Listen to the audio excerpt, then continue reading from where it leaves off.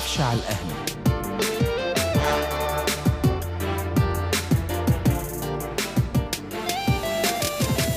بسم الله الرحمن الرحيم. أهلا بكم أعزائي مشاهدي قناة الأهلي وعشاق الرياضة في كل مكان.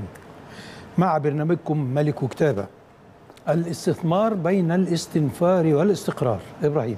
أهلا بيك يا باشمهندس. أهلا بيكم أعزائي المشاهدين. وموعد يتجدد معكم والحلقة 558 حلقة الخميس من ملك وكتابة فيها موضوعات كثيرة مهمة. هذه أبرز عناوينها.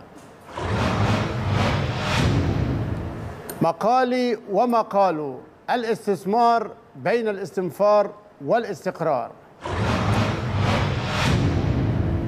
في الغربال الأهلي ما يعملش كده. بعظمة لسانه الجدارة والكذب خيبة. الشموع الحمراء وجعفر والي باشا. وفي أسرار الملك طلبة والرحيل المفاجئ. وأخيرا في مجلتنا اليوم ومن أربعين سنة. آه، محتوى نتمنى إن شاء الله أن حضراتكم تستمتعوا بيه. كلام كتير الفترة اللي فاتت عن الأندية الحديثة عن فرص الاستثمار عن تأسيس الشركات. فيبقى مقالي ومقال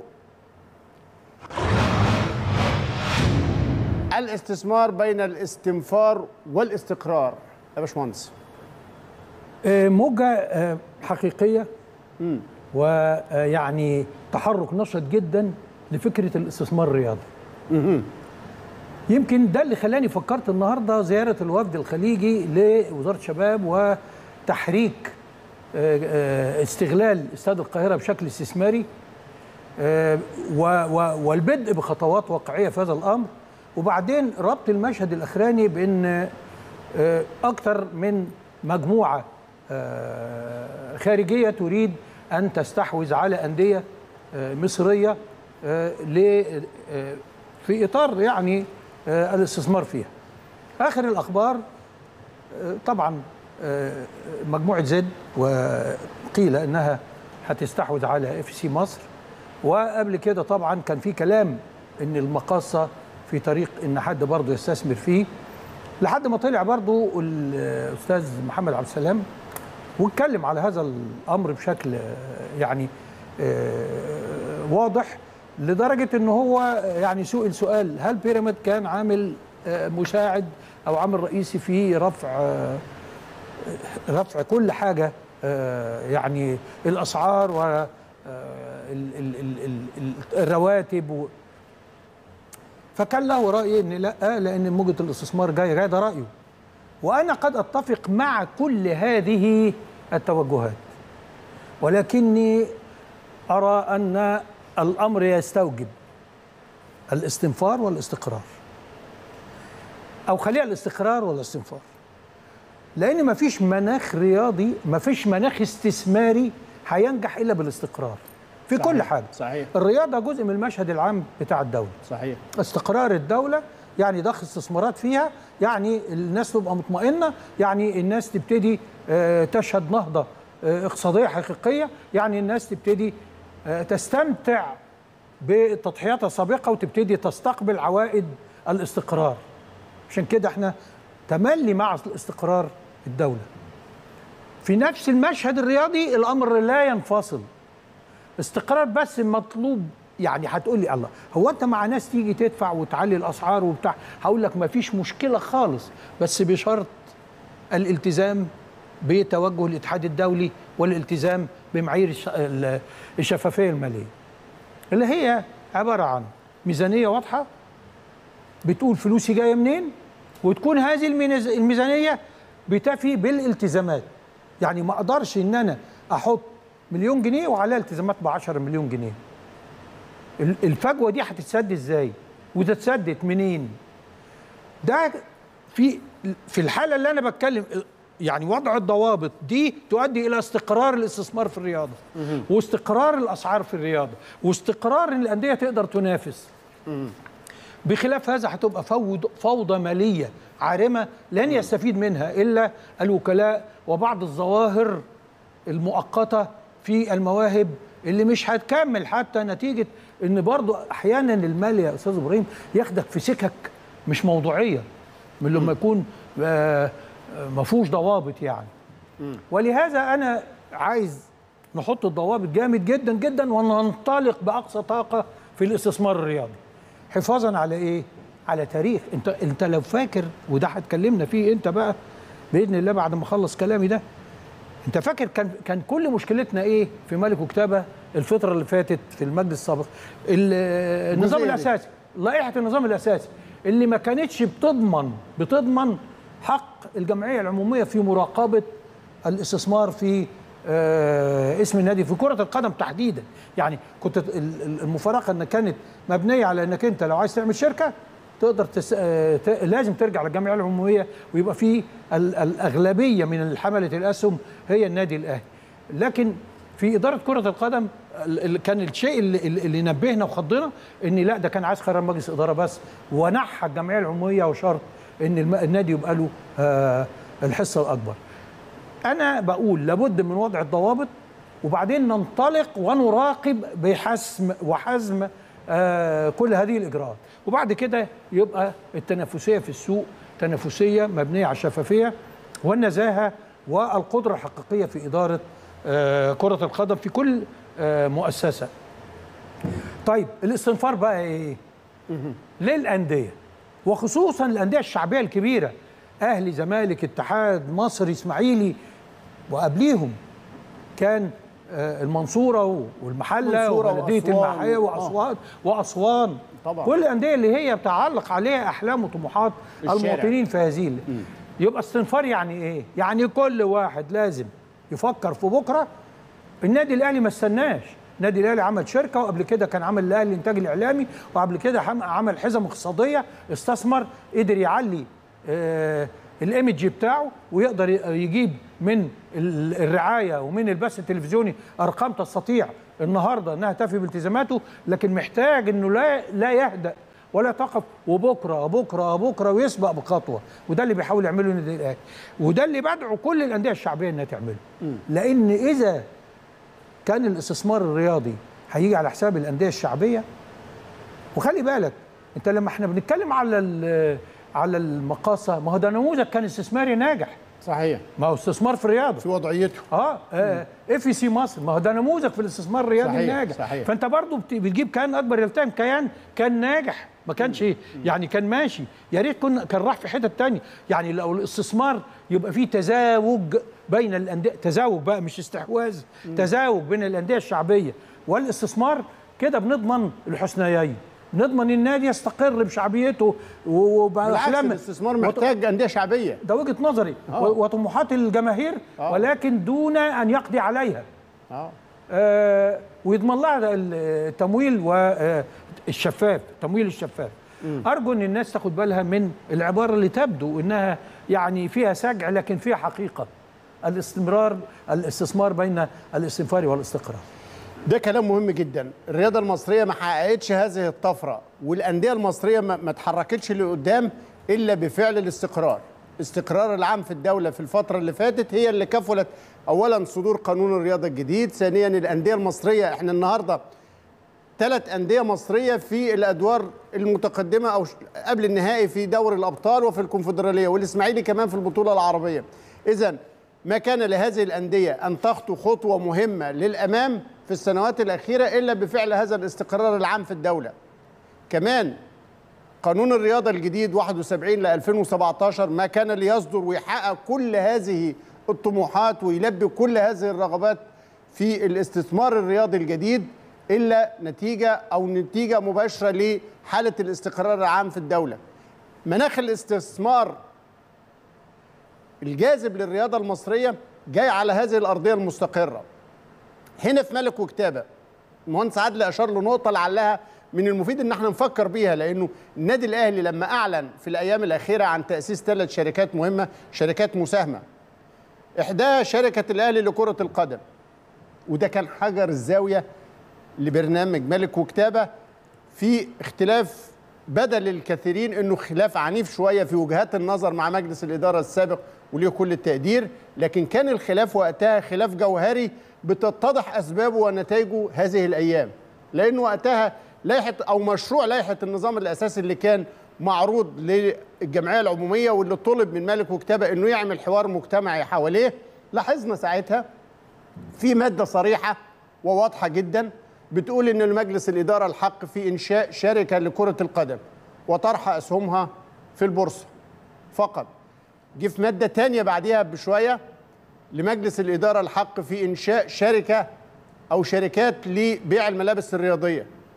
وخلاها شرط مقيد بقى بشرط الحصول على موافقة الجمعية العمومية وامتلاك النادي ل 52% من أسهم هذه الشركة، يعني لما أجي أبيع شورت وفانيلا وأدوات رياضية ارجع للجمعيه العموميه واحتفظ للنادي ب 50 باكثر من 50% من قيمه هذه الاسهم، بينما كانت فكره بيع شركه كره القدم وطرح اسهمها في البورصه بدا الامر وكانه مفتوح ومطلوق ومتاح. هنا كان تخوفنا وهنا كانت وجهه النظر اللي اعتقد حضراتكم فاكرين تفاصيلها فكانت النتيجه انه مجلس الاداره الحالي لما عمل مشروع لائحه النظام تنبه الأساسي آه. تنبه إلى هذه المسألة اهتم جدا إنه ما من شركة تنشأ في النادي إلا الحصول على موافقة الجمعية العمومية وامتلاك النادي لاكثر من نصف النصف أكثر من 50% من أسهمه ده كان بسبب هذا 50 زائد الحراك على الأقل. وإبداء وجهات النظر القانونية المهمة الحريصة على النادي لكن لا كان خلاف مع أشخاص فقط كان خلاف على أفكار والهدف المباشر كان مصلحة النادي الأهلي وقتها. اتقال آه طبعاً. وقتها اتقال أصل في مش عارف مين عايز يشتري كرة القدم في الأهلي ومين عايز يستثمر في- بعض الحاجات بتتضح دلوقتي للعامة لكن كان المهم إنه النادي الأهلي سباق دايما لما الناس اتكلمت في الفترة الأخيرة بموجب قانون 71 ل 2017 اللي فتح نوافذ كتيرة في الاستثمار الرياضي وادى الأندية الحق في استغلال آه، القيم التسويقية بتاعتها وعلاماتها التجارية كانت النتيجة إنه مجلس الإدارة اطلع بسرعة بمهم- بمهمته ومسؤولياته في تأسيس ثلاث شركات. ده دي القوة بتاعت النادي الأهلي اللي ميزانيته تعدت ل 2 مليار. البقيه الكيانات الشعبية هو ده اللي أشار إليه المهندس عدلي. هي ديت اللي محتاجة. السوق يبقى فيه ضوابط. آليات كتيرة تتفعل. الحفاظ على الحقوق العامة وهذه الكيانات الجماهيرية. يعني أحب إن أنا يعني بس إيه أستكمل لأني كنت هنسى الحقيقة حاجة مهمة جدا. من ضمن الحاجات يعني في أندية بدأت تنفذ فكر استثماري وهي مش أندية أنشئت كشركات. يعني لما شوف تجربة نادي سموحة آه م- سموحة لم يكن نادي كرة قدم لكن جاء على رأسه رجل أعمال. فكر في نادي سموحة طوره عمل اهتمام بالرياضي هائل في كل عنده فرقة باسكت بتنافس عنده فرقة كرة طايرة بتنافس عنده فرقة هاندبول بتنافس عنده فريق كرة قدم بينافس أو أو يعني بيناكف. خلينا كل الفرق دي آه لا محسوسة. وفي نفس الوقت نهضة إنشائية هائلة. طب الأندية اللي زي دي وادي دجلة نفس القصة. نادي ابتدى آه وله آه فروع كبيرة بأفكار استثمارية لكن في كرة القدم وفي ألعاب أخرى هو نادي استثماري. طب الأندية دي لو ما فيش ضوابط في السوق الفوضى تلتهمها. أيوه. الفوضى تلتهمها مع الأن... مع بعض الأندية الشعبية. واخد بالك؟ إحنا مش عايزين كده. إحنا عايزين الفكر الاستثماري يبقى فكر تنافسي شريف. بالظبط. ادي كل الناس الحق إنها تتنافس بس كل واحد يبقى عارف اللي قدامه ده أوله إيه وآخره إيه. هنا في كل واحد هيوفق أوضاعه بقى. اللي عايز يبيع جزء من حصته ها؟ يبيع. اللي عايز يقول لك لا يا عم محدش يجي ناحيتي وأنا قادر اقوم لوحدي بما املكه من حقوق. ما فيش نادي ما عندوش حقوق. كل واحد هيفكر كده هيلاقي عنده حقوق حق الإيمج حق التاريخ حق, حق الصورة الذهنية حق ال- الأسوار حق المحلات حق ال... في آه، النادي مثلا الجزيرة عنده ال- ال- ال- الجولف وعنده التنس وعنده الباسكت وعن... مش ضروري يبقى كله كرة قدم لكن عنده عنده حاجات يقدر يحطها على طاوله على طاولة المفاوضات وهو بيخش في شراكة أو بيستجلب آه، مستثمرين. التنوع ده ممكن يعمل نهضة رياضية هائلة. ويبقى الدولة فعلا تتفرغ ساعتها لدورها الرئيسي في نشر الرياضة للجميع في نشر إن كل مواطن مصري يستطيع أن يمارس في نشر في في في دعم البنية الأساسية بملاعب زي بره. مفيش بارك مفيش جنينة ما فيهاش ملاعب. ممكن إنك تنزل من بيتك وتروح تلعب فيها. ويبقى الحكم بتاعك المهندس اللي جنبك وال- والمدرب بتاعك الدكتور اللي جنبك و... الدنيا قائمة في نشر الرياضه على هذا على هذا الاعتبار. فإحنا نتمنى نوصل في يوم من الأيام لكده بس الحماية لن تأتي إلا بالشفافية وبتطبيق المعايير اللي بيطلبها الاتحاد الدولي. وده اللي كمان اللي مطلوب في مجال كرة القدم باعتباره المجال الشعبي المؤثر. الكيانات المستثمرة من حقها تتداخل من حقها تتشارك من حقها تشتغل في الكورة لكن من حق الأندية الجماهيرية الشعبية الحفاظ على حقوقها على إمكانياتها وفقا لضوابط في آليات السوق مؤكد. قانون اللعب المالي النظيف دي مسألة دولية متعارف عليها لعله من حسن الطالع إنه هذا التحول الكبير اللي حاصل.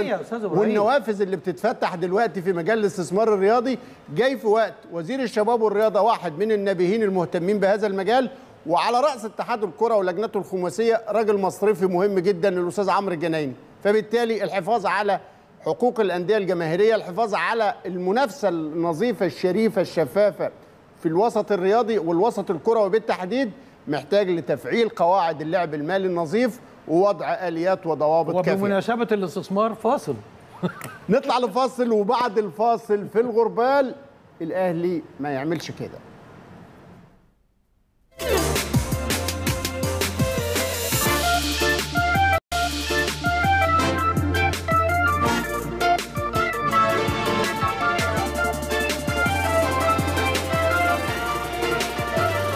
أهلا بحضراتكم من جديد. شفنا في مقالي ومقاله أفاق الاستثمار كل ما يستجد في الساحة الرياضية حاجة هذا المناخ لكثير من الضوابط والحفاظ على قواعد اللعب المالي النظيف وبقيت هناك أخبار كتيرة جمعناها لكم في الغربال.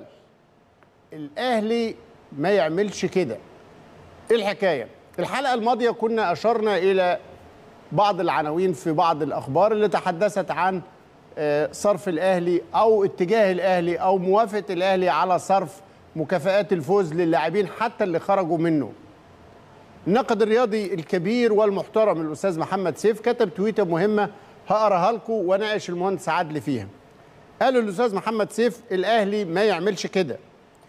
بيقول قرأت خبرا أن الأهلي قرر عدم صرف مكافأة الفوز بالدوري للاعبين الذين تركوا الفريق. شريف إكرامي ورمضان صبحي وحسام عاشور وبيقول واتصل بي أحد الأعضاء العاملين بالنادي يستنكر القرار.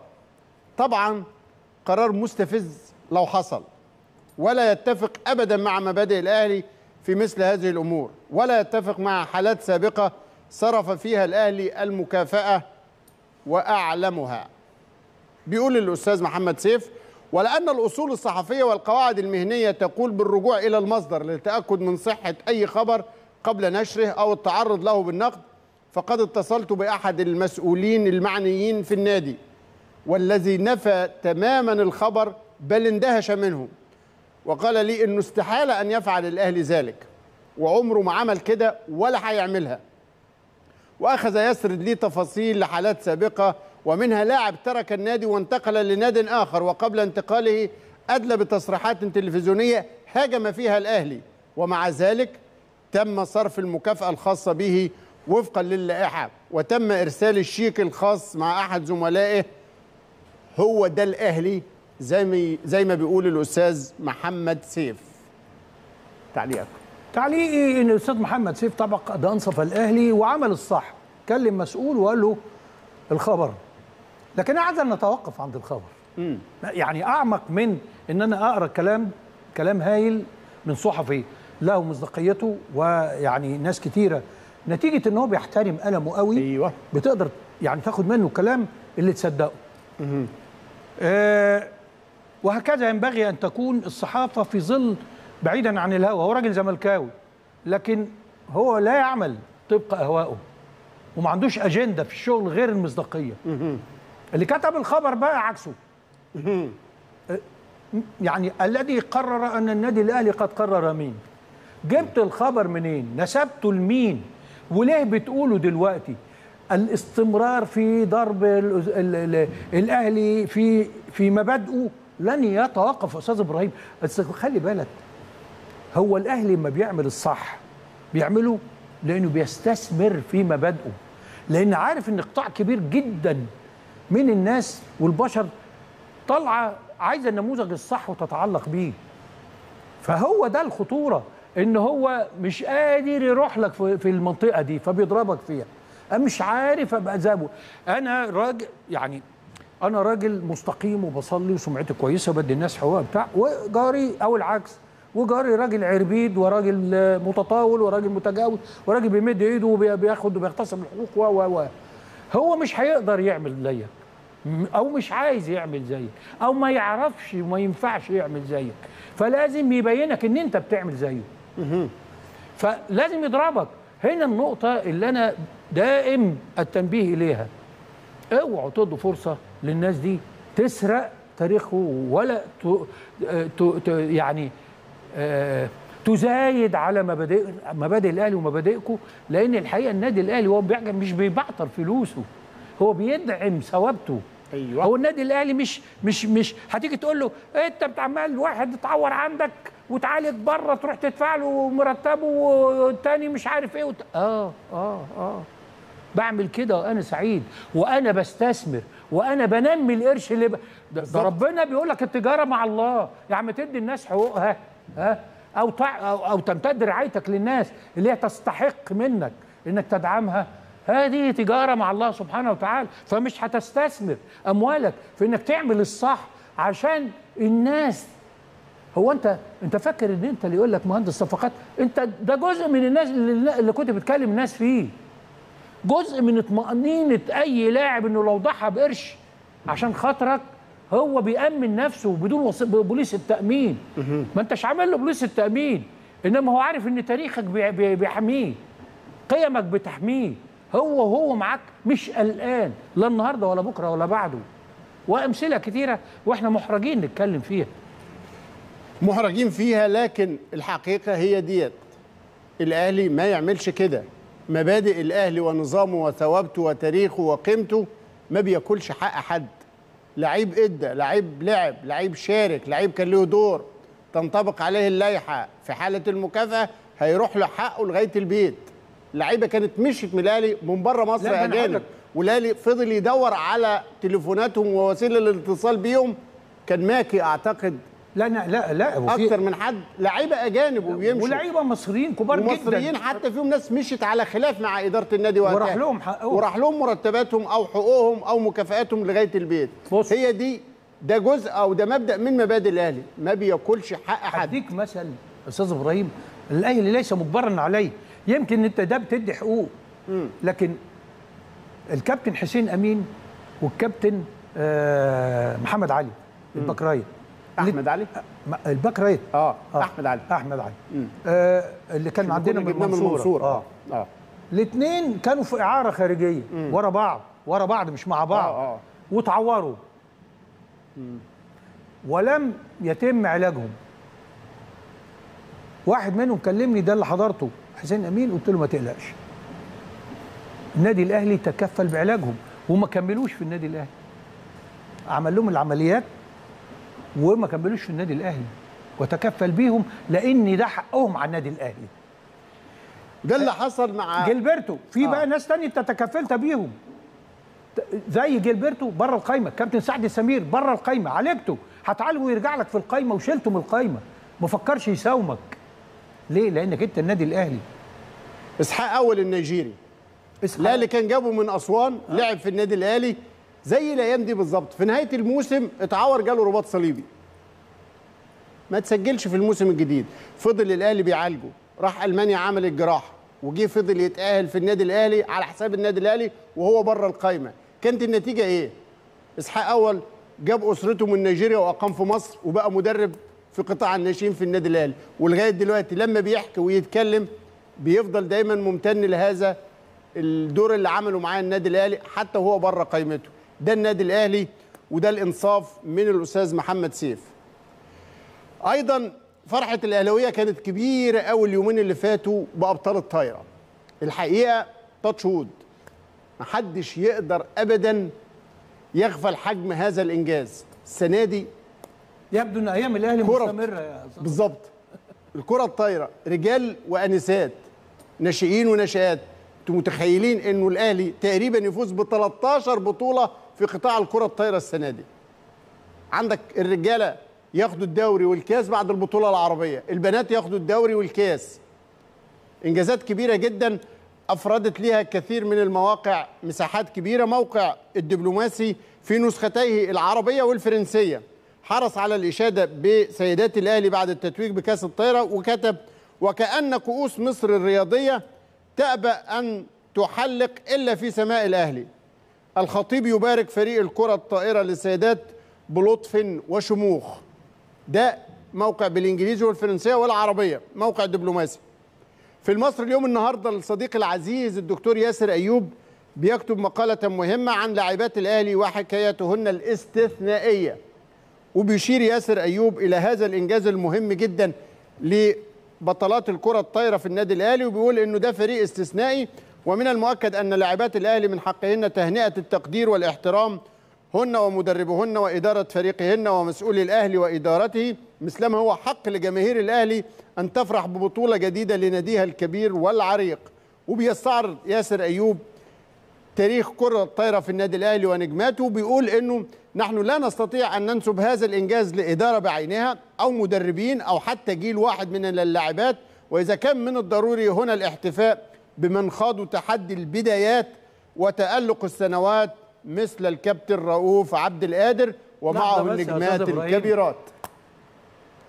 آه، المقالة دي فكرتني بحاجة مهمة قبل ما نخش على الأستاذ إبراهيم آه، على الأستاذ آه، رؤوف كابتن رؤوف. هو يعني في إن وأخواتها. فيهن وأخ وأخواتهن. آه. لأن هذا الإنجاز الرائع في الب... في السيدات كررته سيدات السلة اللي هيحكي لنا تفاصيلها دلوقتي كابتن رؤوف عبد الله. واحد من صناع هذا الجيل الذهبي الحقيقة أو اللي حط النبت لهذا الفريق الأسطوري اناس أنسات الكرة الطايرة كابتن رؤوف عبد القادر مدير النشاط الرياضي في الأهلي. كابتن رؤوف ألف مبروك واهلا بيك. آه، مساء الخير كابتن إبراهيم. آه، كابتن عادل أهلا بيك يا كابتن. غيرنا لك ميعاد البرنامج أهو علشان تلحق قبل ما تنام. كل كل ما نكلمك نلاقيك نمت. أنا بتفرج على طول على التسجيل بتاعه تاني يوم. ألف مبروك يا كابتن. كابتن رؤوف آه، يعني آه، احكي لنا على إنجاز الكرة الطايره وبعدين كلمني على إنجاز كرة السلة لأن الناس مش متنبهة للي حصل في كرة السلة. كمل لأن هتسمع منه كلام لما سمعت قلت له قولوا للناس. طيب آه، نبتدي الأول آه، بكرة السلة. إيه رأيكم؟ اتفضل. آه، كرة السلة بعد ال- آه، العودة آه، لاستئناف النشاط بعد جائحة كورونا الاتحاد قرر استكمال بطولات المرتبط للسيدات والرجال. الرجال تحت 20 سنة وتحت 20 آه، وتحت 18 سنة. والسيدات تحت 18 سنة. استطاع النادي الأهلي حسم الثلاث بطولات في المركز الأول. يعني أول 20 ولاد، أول 18 ولاد، و18 سنة بنات يعني جميع البطولات اللي استؤنفت بعد جائحة كورونا. مش كده وبس بيبقى فيه درع مخصص للنشاط في جميع الدرجات آه، والمراحل السنية سواء في درع العام للفرق الرجال وفي درع عام لفرق السيدات. آه، الأهلي أيضا بالدرعين. ده دليل عايز عايز أتوقف هنا عند فوز النادي الأهلي بالدرعين وحصول النادي الاهلي على المركز الثاني في البطولات اللي خاضها على مستوى الرجال هذا معناه إيه إن السلة هي الأولى سلة. الأهلي هي الأولى هذا الموسم ده درع آه. رجال وسيدات آه بالظبط. آه بالإضافة طالما حضرتك تطرقت لفريق الرجال قبل ما هن هنحتفل بالفريق اللي أمام السادة المشاهدين آه بالفوز. آه أنا بعتبر ال- الأول ال- الفوز ده يرجع اولا وأخيرا طبعا بعد مجهود اللاعبات والجهاز الفني ودعم إدارة النادي لروح الفانيلا الحمراء. ليه؟ اللي اللي تملي بتظهر ساعه الشدائد. صحيح. يعني كان متأخر مباراة استطاع فريق سبورتنج. ده كان best 3 ال playoff. آه. استطاع فريق سبورتنج الفوز بالمباراة الأولى. والكثير آه، يعني تكهنوا إن خلاص آه، سبورتنج كان قاب قوسين أو أدنى من الفوز ببطولة ال- الدوري ال- السنة دي دوري السوبر علشان آه، يتعادل فريق النادي الأهلي ويفوز بالمباراة الثانية عشان نلتجئ للمباراة الحاسمة اللي فضلت نتيجتها معلقة لغاية آخر ثانية عشان يحسمها فريق سيدات النادي الأهلي واللي بتظهر فيها آه، مش كلام. روح الفانيلا الحمراء دي تتوارث جيل عن جيل ومن لعبة لأخرى. آه، من هنا أنا بشكر الجهاز الفني آه، فوزه ال- النهارده ببطولة الدوري المرتبط واللي دي بتطمنا على مستقبل كرة السلة للسيدات في النادي الأهلي في السنين القادمة وبعديها المرتبط ده يعني الفريق الأول بالإضافة لفريق 18 سنة ويفوز بدوري السوبر وفي نفس الوقت فاز ببرونزيه البطولة الأفريقية لأول مرة في تاريخ ده آه، كان بينا النادي كان الأهلي. بيننا وبين ال final آه، ثواني. آه يعني كورة كانت فاول اتحسبت آه على اللاعبه هالة في الآخر ثانية. اللي غيرت نتيجة المباراة آه إما يعني كنا بنلعب على ال final كنا برضو قريبين جدا من فوزنا البطولة. طالما بنتكلم بقى على آخر ثانية هنتقل من السيدات للرجال. آه النادي الأهلي لا يرضي طموحه غير الفوز بالبطولات والمركز الأول دائما. وده ال target بتاعنا. يعني ما ينفعش أي حد في الدنيا لما يبقى ليه آه، خطة رياضية بيبقى ليه target. آه، النادي الأهلي لا يختلف عليه اثنين إن target ه آه، target ه واحد. target واحد منذ نشاه النادي الأهلي ليومنا هذا هو الفوز ببطولة أي لعبة بيلعبها. واه الرياضة مكسب وخسارة وكل حاجة لكن إحنا لا يرضي طموحنا إلا المركز الأول كما تعودنا دائما ونورث هذا من جيل إلى جيل.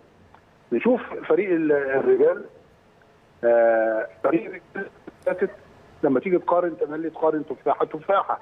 أيوه. تقارن السنة اللي فاتت كان ينافس على البطولات آه، فرق الأهلي والاتحاد السكندري والزمالك والجزيرة وسبورتنج وسموحة. ست فرق كانت آه، بتتنافس ومفيش حد يقدر يعرف ولا يتكهن بنتيجة أي مباراة بين ال- الستة دول. آه، فلما نيجي آه، بالدليل هتبص ال- ال- اللي فاز بالكاس نادي واللي فاز بالمرتبط كان نادي واللي فاز ببطولة السوبر كان نادي ثالث. النهارده اتحصرت المنافسة في كرة السلة آه، ما بين نادي الاتحاد السكندري سواء في نهائي كاس أو السوبر اللي فاز بيها نادي الاتحاد وأيضا كان النادي الأهلي هو اللي بينافس لغاية آخر لحظة على البطولتين. طيب نبص ل- يعني الرياضة تعني التوفيق وعدم التوفيق.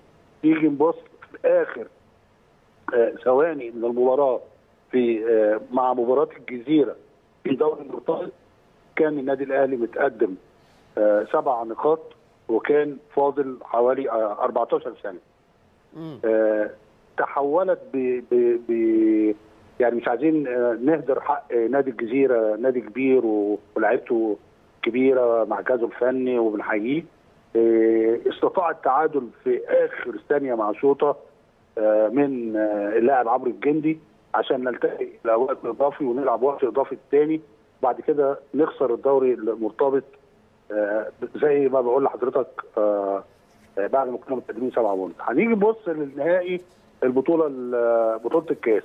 أيضا كان أمام الاتحاد السكندري وال ويعني توفيق وعدم توفيق. لو كان اللاعب آه أليكس آه خد الكورة ودخل بيها حاول يخش يوصل لغاية ال basket بيها كان مفيش حل إلا يعني أنا ما بحبش طبعا أتكلم في الفنيات بس أنا بتكلم الكلام اللي أنا سمعته من الجهاز الفني المختص بتاع اللعبة. لو حاول هيبقى قدام الاتحاد السكندري حاجة من الاثنين يا إما يخ- يخافوا إن هم يلعبوا فاول عليه فيخش لغاية ما هيوصل مرتاح لل basket يا إما هيضطروا في الحالتين لو جابهم أنت كسبت الكاس ولكن تفضل اللاعب الاجنبي تم اختياره إن هو يلعب ده- آه، رمية ثلاثية من الجنب آه، فضلت بتنط على الحديدة يعني لو دخلت كان أيضا استطعنا حسم بطولة ال- الكاس. آه، بطولة ال- الدوري الجميع شاهد جميع المباريات آه، برضه في الثواني ال- الأخيرة في صحيح. خاصة بنتكلم في المباراه الثالثه ثالثه آه. يعني ولكن ده مش مبرر لأن النادي الأهلي زي ما بقول لا يطمع إلا في المركز الأول. وكان فوز السلة بال- بالدرع سواء رجال أو سيدات ده في حد ذاته في في الحصاد العام إنجاز جيد يا كابتن. أكيد أكيد ال-. الطايرة بقى خلينا سريعا. آه. بالنسبة للفريق للرجالة المعجزة بقى. آه، الرجالة الناس تخوفت على إن الفريق كبر وقال لك فريق العواجيز. ثم البنات والنبت المستمر للغرس اللي انت عملته الرجالة سريعا تقديرك لإنجازهم إيه آه يعني آه النهارده الثلاثية سواء البطولة العربية أو بطوله الدوري الدوري والكاس. أو, أو آه. بطولة الكاس. آه في ظل آه، منافسة قوية مم. آه، خلي بال حضراتكم حضراتكم يعني ال- الوضع دلوقتي بقى كل الأندية النهارده أصبحت بتنافس يعني كان آه، يعني في ال 20 سنة الأخيرة يمكن كانت المنافسه بتنحصر دائما ما بين النادي الأهلي ونادي الزمالك. ولكن خلاص في السنين الأخيرة الأندية كلها بتدعم نفسها بلاعبين وفي عقود احتراف وأجهزة فنية واستعانة بلعيبة محترفة من الخارج آه، فاللي أنا عايز أقوله إن استمرار النادي الأهلي بالفوز آه، بالبطولات والاحتفاظ آه، سواء بالدوري أو بالكاس للسنة الثالثة على على التوالي. آه، ده بيدي انطباعات آه، جيدة. ولكن آه، عايز أقول إن خسارة آه، مباراة آه، مباراة وممكن تكون تكتيكية من الجهاز الفني صحيح. آه، لما يكون آه، الفريق خلاص حسم بطولة الدوري. آه. وباقي خمس مبا... خمس أيام على مباراة. ال semi final بتاعت الكاس. إحنا وضحنا ولا- دي. آه. آه وضحناها ف- فنيا يعني. آه ففي ناس كتير جدا يعني تقول إن المباراة دي يمكن أول مباراة يخسرها هذا الفريق في خلال مثلا سنتين ثلاثة فاتوا حاجة كده. آه. آه تبص حضرتك يعني ال social media تاني يوم والدنيا اتقلبت وبقت فريق هو القاعده القاعدة إن الطايرة. تكسب. بالظبط لكن آه. في فارق يعني هو ادرى بشؤون فرقته صحيح. وهو آه بيريح بيجرب آه ناس آه سواء يعني دي مفهومة. آه مطمئن على مسيرة بناتك بقى آه نتكلم على ال- على البنات طبعا آه. آه. إنجاز إنجاز آه بعتبره يعني ما بعده إنجاز يعني ال هما كده الدوري للمرة الكام يا كابتن ال 24 ال 24 بسم الله ما آه، شاء الله. يعني محتاج إن إحنا نخاطب 24 موسوعه سنة. الأرقام. آه. 24 والله سنة. فعلا آه، طبعا. فعلا لو في حد اهتم بهذا الموضوع. لازم النادي يخاطب آه. المسؤولين بتوع موسوعه الأرقام القياسية آه لأن- ده بالإضافة إن 18 مرة على التوالي. الفوز كأس مصر أيضا لهذا الفريق. صحيح. و- وفي السنين الأخيرة آه، يعني احتفاظه ببطولة أفريقيا أيضا والبطولات العربية. يعني جميع البطولات اللي بيخشها الفريق الحمد لله. يستطيع حسمها علشان آه، يتم اختياره المجلس الأعلى للرياضة في أفريقيا. اختاروا فريق اختيار هذا الفريق. 2019 تقريبا. بالظبط هي دي الأرقام الرسمية مش اللي إحنا بنطلقها آه. بقى على بعض. آه. أحسن فريق جماعي في 2019 في القارة. ف... كابتن رؤوف آه، يعني موفق دايما وألف ألف مبروك. وطمنتنا على المستقبل بإذن الله في قطاع النشاط الرياضي موسم ذهبي. شكرا لك. شكرا جزيلا لكابتن. رؤوف عبد القادر. مدير النشاط الرياضي للنادي وأعتقد شفتوا هذا الحصاد الرائع ده الدرع العام في السلة رجال وسيدات ده مهم جدا الدرع العام اللي شامل كل البطولات اللي بيشارك فيها النادي بالإضافة إلى احتكار كل بطولات الطايرة وكان المهم مش المستوى الفريق الأول بس فرق الناشئين والناشئات في الكرة الطايرة فازوا بالبطولات اللي شاركوا فيها غالبا وده يشي بمستقبل جيد يحافظ به الأهلي على مستقبل اللعبه إن شاء الله.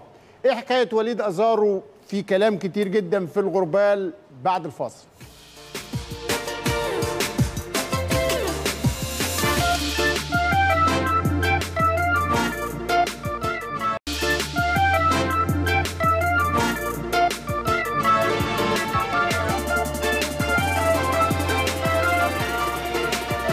أهلا بحضراتكم من جديد شفنا كمان في الغربال كلام مهم اليومين اللي فاتوا وأخبار متناثرة ومتضاربة ومتعارضة عن وليد أزارو مهاجم الأهلي آه، المغربي اللي كان معار للاتفاق السعودي وانتهت إعارته أو لم يكملها.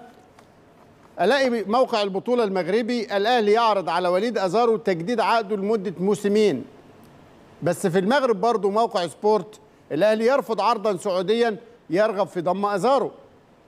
خد بقى في مصر كل شيخ وله طريقة. كل واحد مودي ازارو في حتة. ألاقي موقع ازارو يثير أزمة جديدة ويطلب حسم مصيره. بس كمان موقع تاني ازارو يفاضل بين بيراميدز وعروض أوروبية وخليجية. وألاقي موقع ثالث أو رابع لقطع الطريق على الأندية المنافسة الاهلي يترقب عودة ازارو لتجديد تعاقده. الحقيقة فين؟ باشمهندس. الحقيقة في الكلام ده. طالما إن الدنيا كده ملخبطة يبقى ما فيش حقيقة. يبقى مفيش حقيقة. لا طبعا. آه. الحقيقة هو ما يصدرها النادي الأهلي. آه. والأهلي لا يتحدث إلا فيما حدث. أيوه. يعني مش دور النادي الأهلي انه يقول أنا بتفاوض. مش دور النادي اللي يقول لك مشكلة ما دور النادي اللي يقول لك قرر النادي الأهلي اتفق النادي الأهلي كده. أيوه. هو دور النادي لحد اللحظة دي الناس مفيش حقيقة. غير اللي عند الأهلي. آه. إنما الناس اللي عايشة بضمايرها حاطين القرد على كتافنا يبلغهم بنقول لهم حاطين لا، القرد على على كتافنا؟ كتافنا. في مثل إنجليزي يقول لك ما تحطش القرد على كتفي. آه. إنك أنت كل ما تعمل حاجة يعني يعني أنت يعني القرد بلغك كتير حاطين القرد على كتافهم فهم آه الناس في مصر حتى القرد على كتاف المسؤولين على طول في النادي الأهلي. آه. ويبدو إن القرد برضه بيلعبهم يعني. قرد بقى. طيب يعني اذا الأهلي مؤكد ينتظر وصول وليد أزارو من أجازته في المغرب عشان يتم حسم الأمر معاه بكل الوضوح ولاعب محترف عمل مشوار طيب جدا مع النادي الأهلي كلكم فاكرينه. ده كان أبرز ما في الغربال من أخبار وآراء مختلفة لكن في كلام مهم حاولنا نمسك كل واحد بعظمة لسانه. الجدارة والكذب خيبة. كذب خيبة ليه؟ أنا ما أعتقدش إن في جدارة لأي بطل في العالم بطل للدوري السنة دي. كانت جدارته بالتتويج أعلى مما حصل للنادي الأهلي. وشفنا أخونا العزيز طارق الأدور قد إيه قال وقفات كتير جدا في الأرقام القياسية اللي حققها تتويج الأهلي السنة دي. الفريق الوحيد في العالم بطل الدوري الوحيد في العالم مش بس اللي حسمه قبلها بسبعه سبع أسابيع أو سبع مباريات لا. ده الجدارة الكاملة إنه مفيش فريق حسم الدوري السنة دي في العالم بينه وبين الوصيف بتاعه 20 نقطة لغاية لحظة التتويج. مفيش فريق حاصل في اللقب على ال 42 بنسبة تقترب من 70% من مرات الفوز بيها. لكن السنة دي برضو كان مثار تشكيك كتير جدا. ناس حاولت تتكلم كتير وتشكك لكن شهد شاهد من أهلها وكلام مهم للكابتن أحمد حسام ميدو في برنامجه في قناة النهار عن تتويج الأهلي نشوفه. لازم طبعا أبارك للنادي الأهلي على فوز بدوري. هتقعدوا بقى تقولوا دوري كورونا دوري بتاع. هو دوري مهم جدا ودوري كان صعب من- خلال ظروفه. يعني لو أنا أهلاوي أو أنا راجل موجود في النادي جوه النادي الأهلي هبقى مبسوط جدا بالبطولة دي. ليه؟ لأن هي بطولة الفريق مر بيها بظروف صعبة جدا. الدوري وقف فترة طويلة. وأنت راجع كان ممكن ترجع بمشاكل ومدرب مشي في النص وما كنتش عارف ترجعه وخدت وقت كل ده بيخلي إن بطولة الدوري دي بطولة تعتبر مهمة جدا بالنسبة بالنسبة للأهلي. فمبروك للأهلي وجمهوره إن هو كسب آه، بطولة بطولة الدوري. وبصراحة عشان نبقى صراحة آه، الأهلي كان أحسن فريق في الدوري. يعني لو جيت كده خدت رجعت شريط الدوري تاني من أول أسبوع لغاية يومنا هذا الاستمرارية كانت موجودة عند الأهلي أكتر. المستوى رغم طبيعي إن في في ماتشات ثلاث أربع ماتشات المستوى مش يعني مش زي ما الناس متوقعة. لكن بصراحة الدور الأولاني بالذات بتاع الأهلي قبل توقف الكورونا الأهلي كان في حتة وبقيه فرق الدوري كلها في حتة تانية خالص. خالص. فدوري مستحق ودوري مهم جدا بالنسبة آه، للنادي الأهلي. وهو ده اللي أنا بقوله يا أستاذ إبراهيم. عندما يفوز الأهلي تظهر الحقيقة. حتى عند الناس اللي كانت يعني بت بتقول كلام تاني لكن بترجع الأسباب والحقائق إلى آه، أو ترجع الحقائق إلى أسبابها. الأهلي هو كان الأفضل في كل الارقام والحقيقة كابتن ميدو مهما اختلفنا معاه يبقى إنه رجل فاهم وما بيكبرش آه يقول إفيهات ساعات إيه، راجل زملكاوي يجي في لحظة عايز يعني يظهر آه آه ولا ويظهر شخصيته الزملكاويه لكن بينه وبين نفسه هو يعلم الحقيقة فين وما بي أول ما بي بي بيلاقي فرصة بتظهر الحقيقة على لسانه. فهو لخص أسباب موضوعية جدا لماذا الأهلي مختلف ولماذا هو الجدير ولماذا هذه البطولة مهمة. على فكرة حكا- حي- حكاية دوري كورونا دي أنا هو الحقيقة هو دوري كورونا والأهلي خدها لأنه نازل من المريخ هو ما جالوش كورونا أو ما كانش يعيش ظروفه الكورونا. هو استغل إن الأندية المصرية تعيش هذه الظروف لكن هو لأنه جاي من كوكب آخر لم يعاني من الكورونا. في إيه يا جماعة؟ إحنا بنلعب في نفس الظروف في نفس الشروط بال... وحالات إيجابية ظهرت بتقول لي وحالات 20 بتتعالج. بونت. آه. وفي ناس كتير بتقول لك أصل عادل قيع قال لك الدوري آه بيحك- بيحسم بره الملعب. تعرف الدوري اللي بيحسم في الملعب؟ كان ال 20 دول بقوا 30 الناس يعني فاكرة إن هي يعني انت تاخد الكلام عكسي. لا آه ال 20 كانوا بقوا 30 آه. وارجع للصفارة في كل ال... حتى للفار. ده, آه. ده الفار ده لوحده من غير ما نزعل الفار مننا والله. لك كل الاحترام يا فار وما تاخدش كلامي بحساسية. لكن لما تشوف الماتش اللي فات ها بتاع زمالك وطنطا وطنطا. وتشوف ماتش الأهلي والاتحاد السكندري آه. انت بتحسب عليك ضرب جزاء. يعني كل اللوائح اللي علموها لنا هم الحكام اللي ثقفونا بيها. انك انت لما ترفع رجلك dangerous play عشان يحمي المنافس ولما توطي وشك dangerous play عشان تحمي لمستوى الرجل تعرض نفسك للخطر. المنافس يوطي. آه. لا ضرب الجزاء وطرد. وطرد. جزاء مش يعني عقوبة مزدوجة. آه. طب حسبت ضربه جزاء جدلية. نروح لضربه جزاء ما فيهاش جدل. والشدة واضحة. يعني كان بيقول لك تملي الحكم ما عندوش طرف إنه يحسب لإنه ما بيحكم في ثانية. طب عندك دلوقتي استئناف وبتروح للفار ترجع تصمم على رأيك. هذا بنسميه إيه؟ أنا أنا بسأل ومش هتكلم يعني. لأن الحقيقة ما بقاش في فايدة من الكلام يبدو. وبعدين نيجي يعني الزمالك وطنطا 3 1 هجي لك يطلع. جاي. بالتفاصيل طنطا آه. جاية. جاية لكنه كلام ميدو اللي أنصب فيه الأهلي وتتويجه. كان في كلام كمان مهم جدا من الزميل العزيز كريم رمزي وكريم واحد من الناس اللي ليها رأي رصين وعندها دايما وابدا موضوعية في عرض وجهات نظرها. نشوف كريم رمزي في اون تايم سبورت وظروف تتويج الأهلي.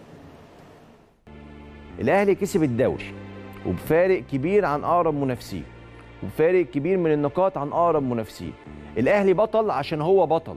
الأهلي بطل عشان هو اسم كبير. النادي الأهلي هو التاريخ هو الاسم الأكبر في الكرة المصرية والأفريقية على مستوى البطولات. وبالتالي مفيش مخلوق في الكون يقدر يوقع النادي الأهلي. مفيش. وبالتالي الأهلي لا يفرق معاه لاعب ولا يفرق معاه مدرب ولا يفرق معاه إداري. ولا يفرق معاه مين بينتقده مين بيضايقه مين بيحاول يشاور على المشاكل اللي فيه. هل في أصلا مشاكل في النادي الأهلي ولا مفيش حتى لو في مشاكل الأهلي برضه بيكسب. ليه؟ طول ما أنت عندك تاريخ كبير طول ما أنت عندك جماهيرية عظيمة هتفضل طول الوقت بتدفعك لقدام بتدفعك للانتصار.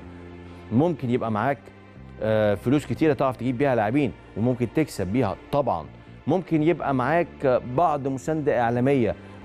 كل الظروف الخارجية دي ممكن تساعد إنك تكسب مباراة. يعني بشكل مبالغ فيه ممكن تخليك تكسب بطولة. لكن طول ما أنت مش واقف على أرض صلبة مش واقف على تاريخ كبير مش واقف على جماهيرية كبيرة عمر ما استمر... استمرارية الانتصارات هتحصل لك. هو ده اللي حصل للنادي الأهلي في الفترة الأخيرة. لازم جماهير النادي الأهلي أو بعض جماهير النادي الأهلي ترجع تاني تفهم يعني إيه النادي الأهلي. النادي الأهلي ما بيوقفش على حد. النادي الأهلي ما فيش حد يعرف يأذيه ما فيش حد يعرف يضايقه ما فيش حد يعرف يوقعه. ليه؟ عشان الأهلي كبير. طيب ملخص الكلام كلام رائع جدا طبعا ولازم كل الناس يفهموا آه لكن أنا عايز أقول هو ملخص الكلام الاهلي مصيره في إيده. مصيره في إيده يعني إيه؟ يعني هو السياج اللي ب... الذي يحمي كلام آه كريم إن مفيش حد يقدر يوقع النادي الأهلي ممكن تاخد منه بطولة ممكن تاخد منه مش عارف إيه لكن يبقى الأهلي محمي بإيه؟ بسياج سياسة وعقيدة ونظام ومبادئ وقيم وقدرة واستشراف وإنك أنت تملي استشراف إيه؟ يعني تبص للمستقبل وتبقى متوقع. الأزمة إيه؟ وتحلها. وبسرعة. وتتدارك نفسك. هو ده النادي الأهلي. اللي ولذلك عبر التاريخ من أول ما قلنا حسين حجازي وأزمة حجازي لحد النهارده وأزمة صبحي وهيبقى بكرة في أزمات أخرى. لكن كيف يتعامل الأهلي؟ يتعامل محمي بسياجه التقاليد والسيستم والنظام الذي يسبق كل شيء. أنا بتفق معاه في كل كلمة قالها آه طول ما الأهلي متمسك بهذه الثوابت ما تخافوش على الأهلي. ما تخافوش على الأهلي لأنه قوة مصر النعمه الرياضية الجميلة. الأهلي اللي دايما مشرف بلاده. الأهلي اللي دايما رافع راية وطنه. الأهلي اللي دايما النموذج والقيمة والقدوة. الأهلي دايما وابدا عنوان مصر الجميل.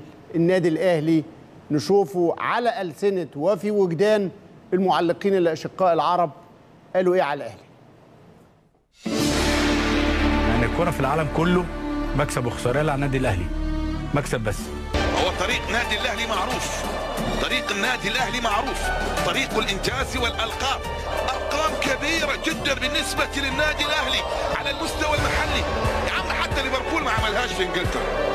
حتى ليفربول ما عملهاش. بالعلامه الكاملة وبمباريات أقل. الريال اليوم لو يفوز بالسوبر سيعادل الألقاب الدولية لبرشلونة 17 وسيقترب على بعد رقم من رقم ميلان وبوكا 18 والرقم القياسي العالمي هو للنادي الأهلي القاهري ب 19 بطولة دولية. فريق القرن نادي الأهلي المصري واحد من أعظم أندية العالم لا على صعيد القارة الأفريقية وحسب. فريقان على مستوى العالم يتكبروا على آلامهم ويتكبروا على أحزانهم مهما غابوا وجافوا ما يمر موسم إلا ويمر بمنصة التتويج الريال والأهلي المصري. الاهلي يصنع التاريخ يكتب الحدوتة. فريق يعني الآن يتجاوز أن يكون فريق كبير تقول على فرق كبيرة. لا هذا فريق أسطوري؟ بالفعل هو من خانة الفرق الأسطورية. بألقابه بأمجاده بإنجازاته بامتيازاته بدأتها بعنوان من يومه من تاريخه في ساعات الاختلاف. الأهلي يجمع المصريين وفي ذات الساعات وفي يوم المحن. الأهلي يرسم بسمة ويرسم دمعة دمعة فرح في عيون المصريين. مجدا ينافس مجدا تاريخا ينافس تاريخا بل مجدا بابق بالنسبة للأهلي المصري. نادي القرن الذي تعود على القاب. الأهلي يا لك من اسم. اسألوا أهل طرابلس. من أين لك هذا؟ اسألوا أهل البرج الجزائري. من أين لك هذا؟ اسألوا أهل جدة. من أين لك هذا؟ اسألوا الأهل الأردني والأهل البحريني والأهل القطري والأهل الإماراتي عفوا كلكم أهلي ولكن أعذروني المسمى مصري. هم من بدأوا باسم الأهلي بالنسبة لي شخصيا حقيقة يعني من الأشياء التي كنت أتمناها من الأشياء التي كنت أتمناها كمعلق في عالم كرة القدم أن يأتي الوقت المناسب لأن أكون حاضرا على مستوى بطولة دوري أبطال أفريقيا الوقت جاء وجاء مع مين؟ جاء مع مين؟ مع ملك القارة الأول الأهلي مع الفرعون العود النادي الأهلي. الله الله يا الأهلي الله. مش معقولين مش معقولين بالمرة. ضد السباقسي ضد سيوي سبورت ضد وفاق السيف. مش ممكن ما فماش فريق يلعب لآخر لحظة وكتب تاريخ وحول وجه الدور مثل النادي الأهلي. مش ممكن مش ممكن مش ممكن. الشياطين الحمر يتشيطنوا في استاد شاكر ويخطفون التعادل. هذا هو الأهلي بكبرياء بعنفوانه بتاريخه بأمجاده بروح النادي الأهلي.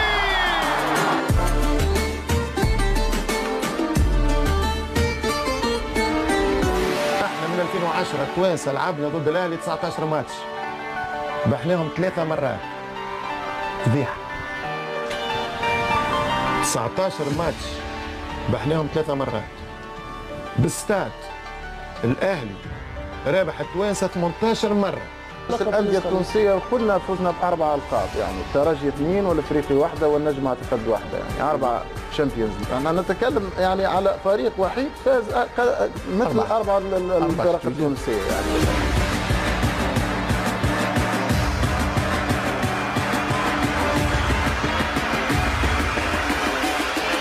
كمل معاها. هل يحتاج الأهلي إلى رأي يا سيدي؟ الاهلي هو واحد من أساطير النوادي في العالم. هو ده الأهلي وهي دي صورته وهي دي قيمته وهي دي شعبيته الأعلى الجارفة في كل الدول العربية وفي كل الدول الأفريقية. محدش يقدر يفاصل مع الأهلي لا في حجم شعبية ولا في قمة شعبية ولا في حجم الجماهيرية وانتشارها. هو ده النادي الأهلي ولا في المكانة. والجدارة. ولا في المكانة ولا في القيمة ولا في الاحترام ولا في الجدارة. في كل مكان. هنعرض لكم أغنية الشباب رابطة محب الأهلي في فلسطين. شوفوا انبهارهم واعجابهم وعشقهم للاهلي عامل إزاي. بمناسبة الأغاني على فكرة الأسبوع اللي فات لما عرضنا الأغنية كنت محتار. بتاعة النادي الأهلي واعتقدنا إن هي هي من التراث الشعبي الأهلاوي. لا اعتقدنا إن هي للفنان الكبير شكوكو لكن اتضح إن هي لل- للفنان الراحل عاشق المدرجات الشيخ حسن. الشيخ حسن واحد من المطربين كان كف بصره لكنه فضل في الملاعب رحمة موجود على كابتن طول. علي زور كان كان محتضن. على طول. صحيح. توفى الشيخ حسن في 2018 كان واحد من مشجعي الأهلي ومرتدي المدرج باستمرار. ده كان الشيخ حسن اللي غنى الأغنية اللي عرضناها لكم الأسبوع اللي فات. لكن بمناسبة فلسطين وبمناسبة غزة وبمناسبة عشق الجماهير العربية للأهلي الأهلي بيضرب كالإعصار. نستمتع بهذه الأغنية الأهلاوية.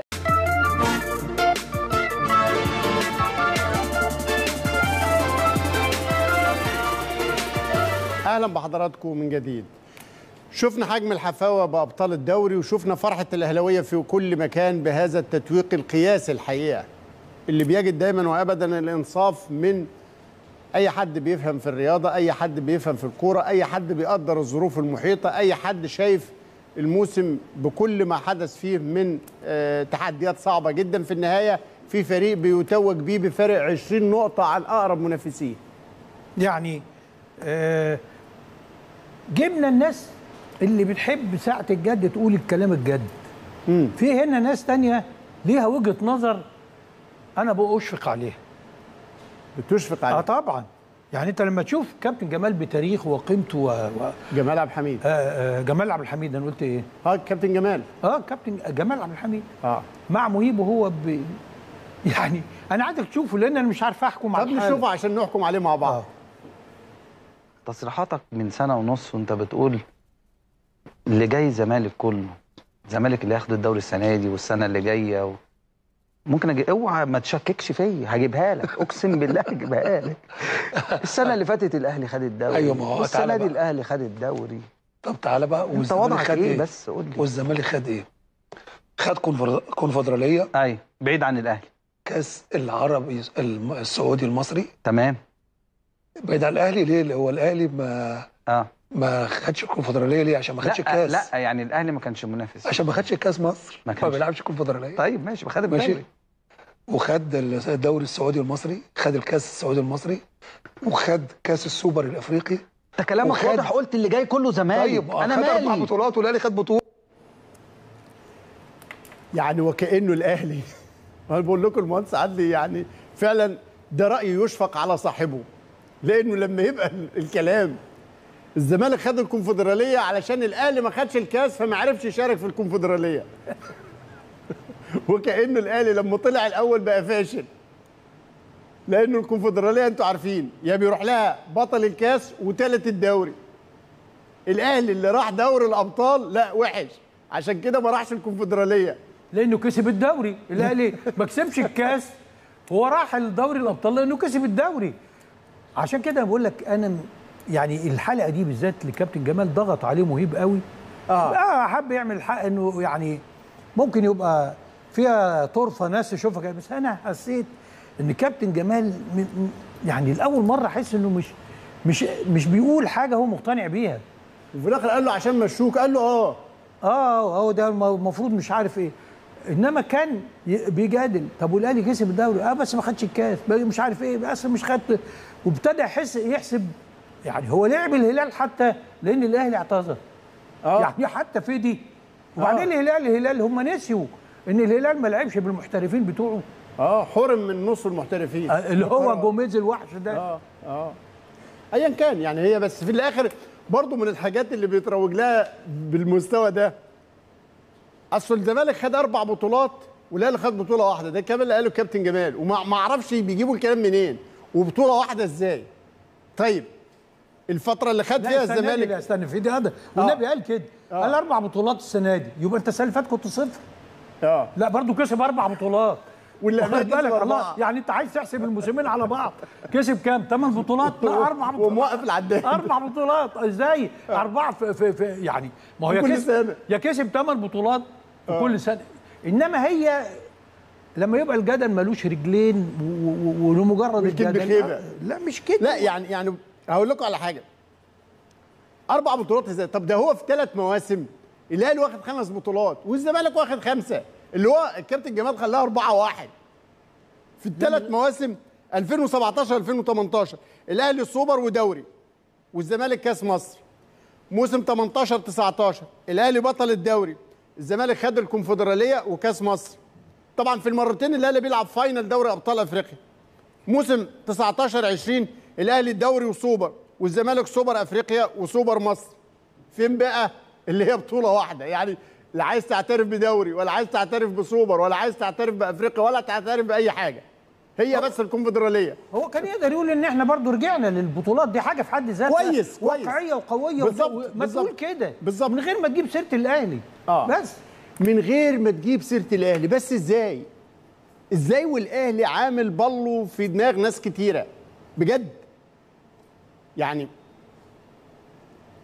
كل واحد لو تفرغ إنه يشتغل وينجح فرقته وينجح ناديه صدقوني مصر كلها هتبقى كويسة. ما عشان نتكلم بس الخمس آه. بطولات بطولات المباراة الواحدة وضربات الجزاء معظمها. يعني حتى إحنا لما كسبنا السوبر كسبناه نتيجة. آه. واتحسب علينا ضربه ضربتي جزاء وما اتحسب لناش ضربة جزاء. في نفس المباراة اللي كان 3-0 و- وطلعت 3-2 اتحسب علينا ضربتين جزاء اللي هي في بداية الموسم اللي ما حدش راضي يجيب سيرتها. دي كسبناها نتيجة ما كسبناش بضربات الترجيح. صحيح صحيح. لكن كله كوم وإن كل واحد تحصل له حاجة يبقى الأهلي وراها. صدقوني. وكأن الأهلي اللي عمال ياخد كل البطولات ديت متفرغ إنه باصص للناس. ده ده عفة نصار.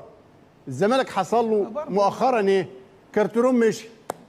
مين اللي مشى كارترون مين اللي لعب في دماغ كارترون اسألوا عفة نصار. يعني في ناس من مصلحتها ما يبقاش في نادي الزمالك في استقرار. نادي الزمالك صدقني بيتعرض لمؤامرة الفترة دي. مؤامرة إن نادي الزمالك يقع إن نادي الزمالك ما يستمرش بال- بالشكل الكبير ده.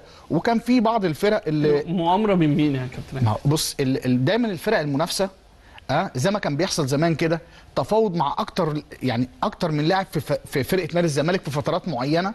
آه نجوم نادي الزمالك في الفترة دي آه آه آه كلام كتير. يعني بص للمنافسين هتلاقي إن الحتة دي كانت موجودة فترات كبيرة قوي قبل كده. يعني الواحد طبعا مش عايز يتكلم مش وقتها إنما آه دايما آه لما نادي الزمالك بيكون نجمه عالي قوي تحس إن في حاجات بتتكاتف تتكاتف عليه علشان ما يطلعش.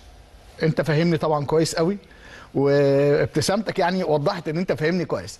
فاللي عايز اتكلم عليه إن أيوه بس الناس عايزة تفهم. الناس عايزة تفهم. آه، دايما ال- ال- المنافسين آه، آه، بيحاولوا يخترقوا نادي الزمالك. يعني لو بصينا الفترة اللي فاتت نادي الزمالك بياخد المنافسين بطولة. اللي هم مين؟ الأهلي يعني؟ مثلا آه طبعا. طب إيه علاقة الأهلي برحيل كارتيرون هقول لك على حاجة.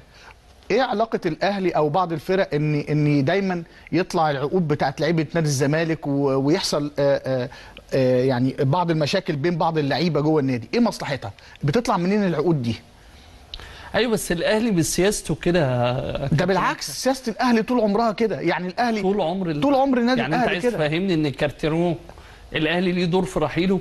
إن ال- ال- الفترة دي بقى في حاجة مش طبيعية بتحصل في نادي الزمالك. حتة تسريب العقود بشكل كبير جدا. حتة العقود اللي بتيجي أيوة للعيبة. ثواني بس هو إيه علاقة برضو النادي الأهلي بتسريب العقود برحيل كارتيرون؟ سيبك من دي أنا بتكلم دلوقتي على حتة إن كارتيرون في يوم وليلة بيمشي. كارتيرون في يوم وليلة يمشي؟ يا راجل ده مش على الهوا. ده القعدة كانت متذاعة على الهوا. ده الكلام كل الناس شافته. لكن برضو الأهلي وراه. الاهلي اللي لعب في دماغه. طب بقول لك إيه؟ ما تسمع رأي واحد زملكاوي آخر الكابتن تامر عبد الحميد. يمكن يقول لعفة نصار هو مين اللي مشى كارترون وكارترون مشي إمتى تحديدا؟ مفاجأة؟ وحصريا لبرنامجك. آه. معلومة؟ بس مش هقدر أقول آه آه مين اللي قالها؟ لأنها كانت في قعدة مع حد يعني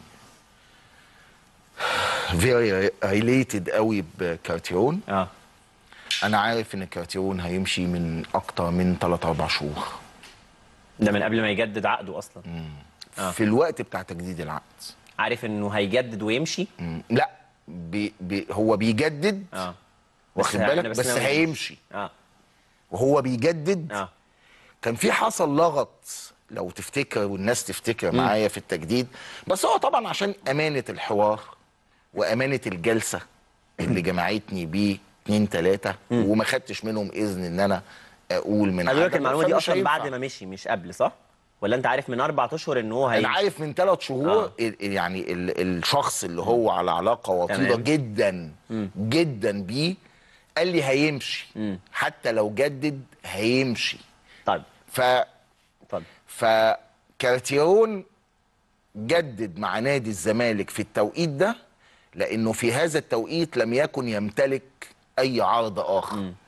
وهو شغال مع نادي الزمالك كان بيدور على عروض إيه؟ أخرى. خارجية. آه. فلما جاله العرض الخارجي رمى الشرط الجزائي قال سلام عليكم وعليكم السلام.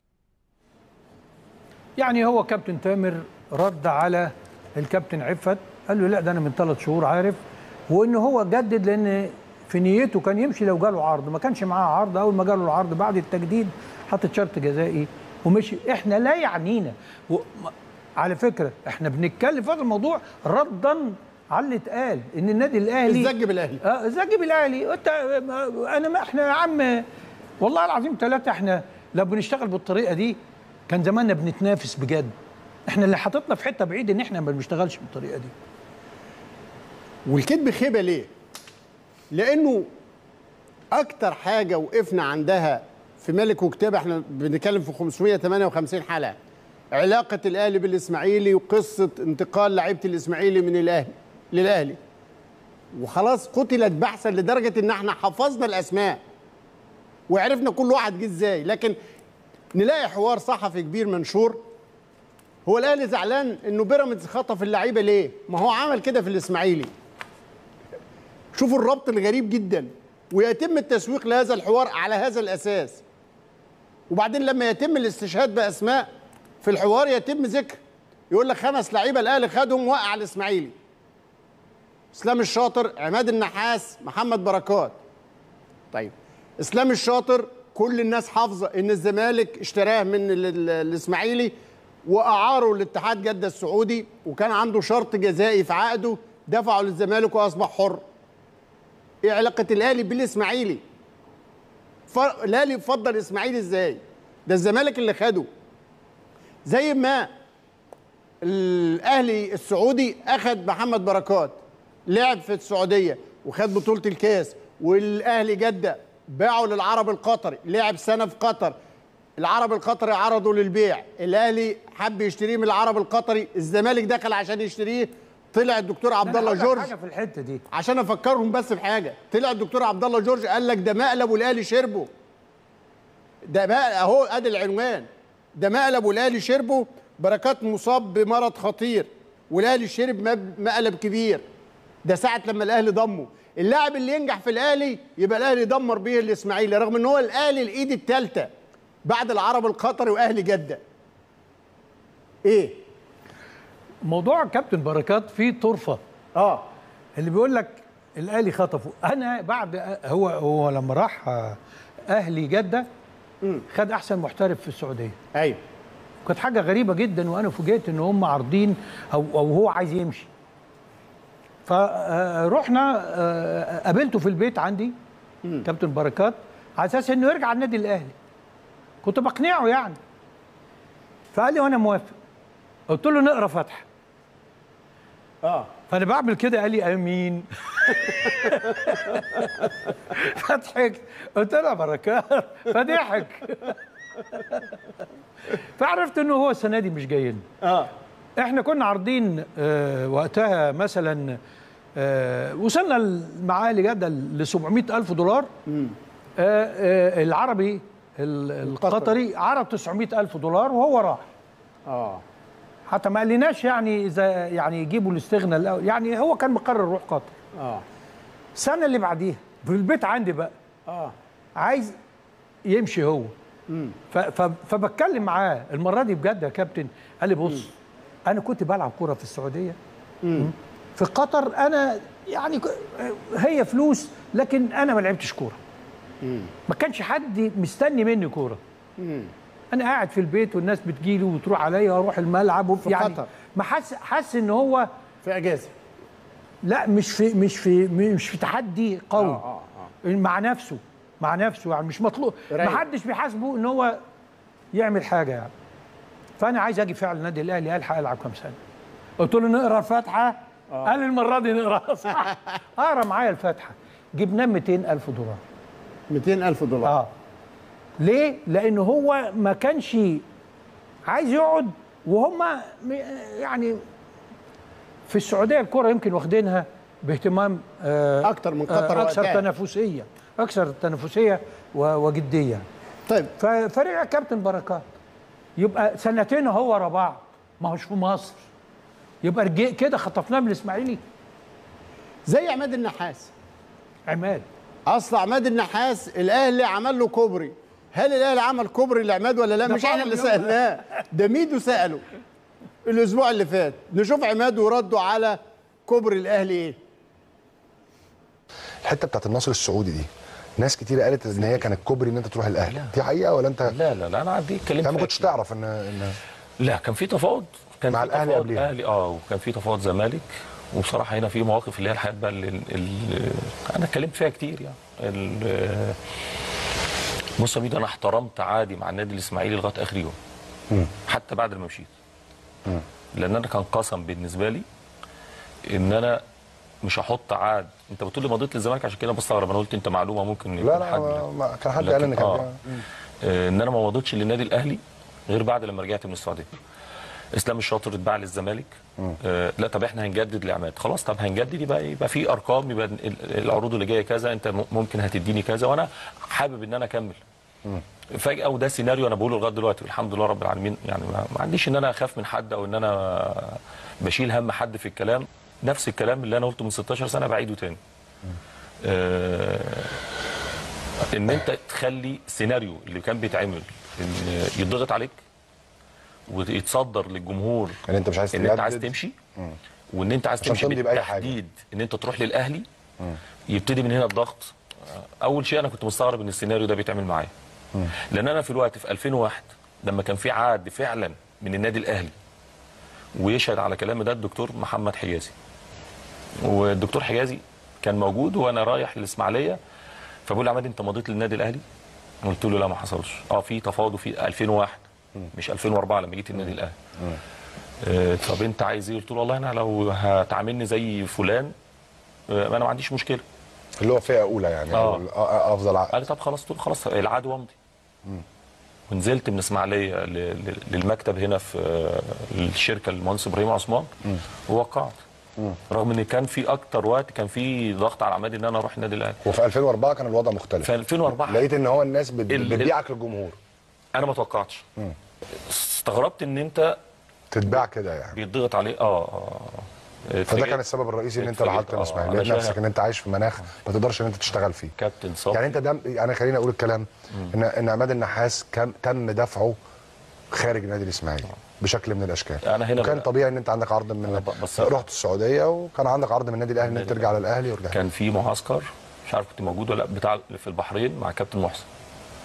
ده التوقيت ال- في 11 2003 أو شهر 12 2003 تفاوض قبل- معاك الأهلي. قبل كأس أمم 2004 2004 آه تفاوض معاك الأهلي صح؟ آه.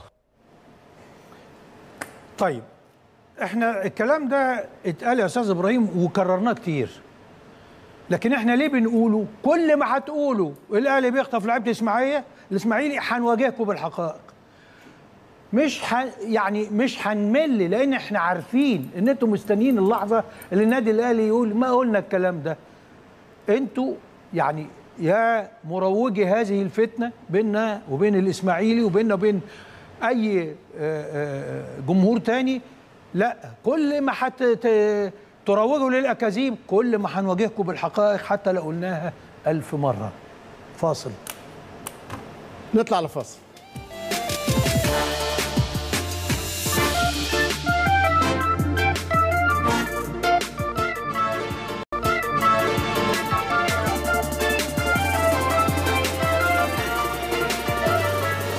أهلا بحضراتكم من جديد.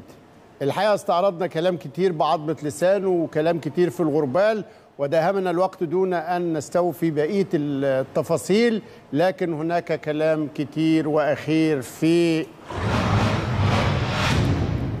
مجلتنا. في مجلتنا مجلة الأهلي النهارده العدد الصادر هناك كلام كبير عن تتويجات الفريق الأهلاوي بالكرة الطايرة. الإعجاز أهلاوي لأنه اللي حاصل في الكرة الطايرة وكرة القدم ده إعجاز المجلة بترصده بالأرقام القياسية العالمية الحقيقة. وكمان فيها ردود يمكن الزميل عبد المنعم القسطى عامل رد معلوماتي على حوار الكابتن أنور سلامة وما شمله من مغالطات كتيرة جدا في المعلومات. المجلة ردت بالتفاصيل الكاملة على هذا الحوار. ثم مقالات مهمة جدا سواء للأستاذ حامد عز الدين أو للأستاذ السر جدور الإعلام السوداني الكبير وكواليس المرحلة اللي فاتت وكل ما تم بشأن الكرة الطايرة وتتويجات الأبطال والمرحلة السابقة. عدد ثري جدا يحتفي بالأهلي وببطولات الأهلي اللي دايما وابدا متكررة. الأهلي هو من ينتج بطولاته. هتسمعوا على تقرير مجلة الأهلي من 40 سنة هتحس إنه معمول النهارده لا جديد. لأبطال الدوري النهارده. عشان تعرفوا إنه الحقيقة دايما وابدا الأهلي بطل الدوري.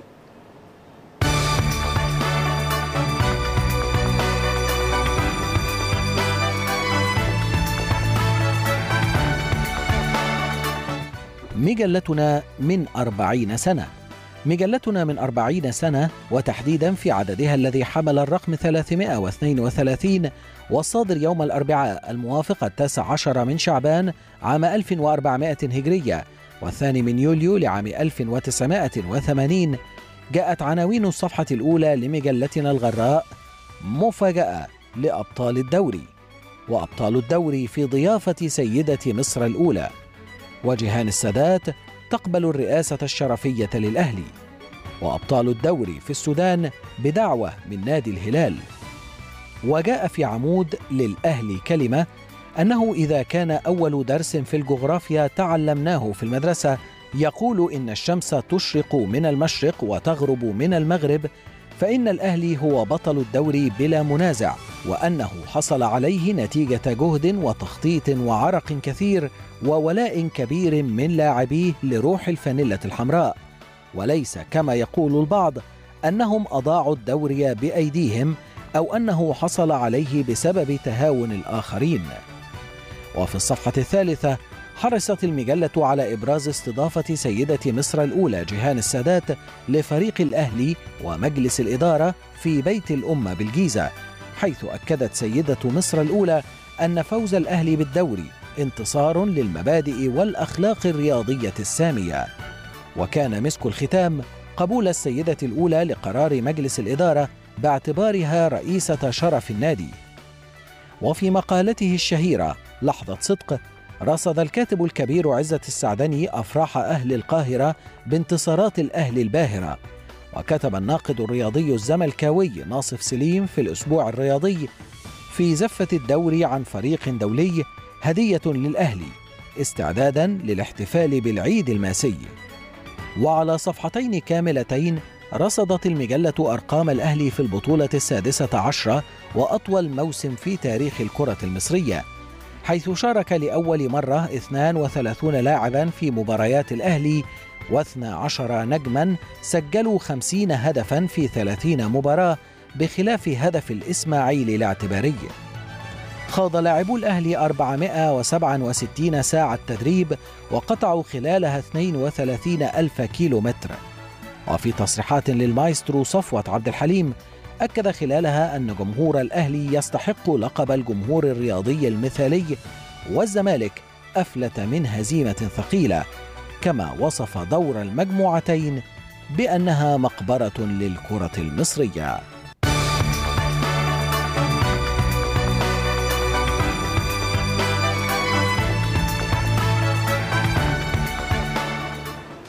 يا أستاذ إبراهيم لا جديد.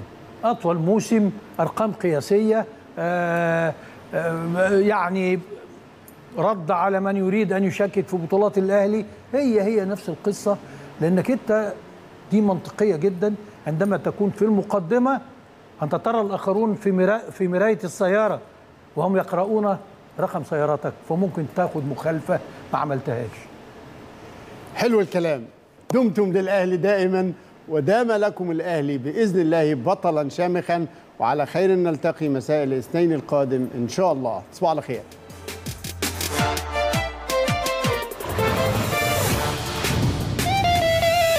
كلام بجد شد وجذب. خد وهات وهات وخد. بص شوت عدي فوت. لا ملعوب